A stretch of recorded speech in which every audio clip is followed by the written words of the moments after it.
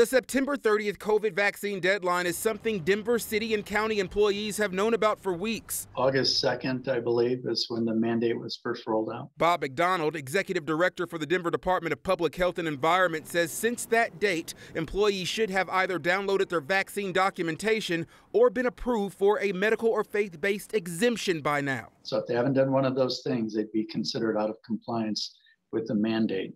Uh, that would actually occur on October 1st. Our goal is to gain compliance and to gain compliance as quickly as we can. City Attorney Kristin Bronson says right now more than 94% of employees are compliant, but their current concern is the remainder and the consequences that will follow if they don't meet the mandate. That includes any city employee, including first responders and teachers. What we have announced to uh, uh employees is a two step progressive discipline process where the first offense will be a 10 day suspension unpaid.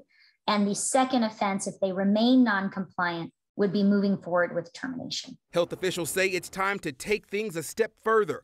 For nearly 20 months, McDonald says they have implemented things ranging from mask orders to testing regimens, and we're still at high case rates. The only thing that really gets us out of the pandemic uh, is to get more people vaccinated.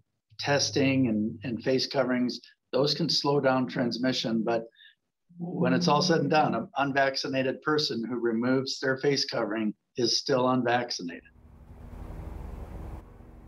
So when it comes to employees that are either on military leave or FMLA, City Attorney Bronson says they do not have to meet that September 30th deadline, which is today, but they do have to comply before they return to the workforce. Natasha. All right, Eddie, big questions there. Thank you.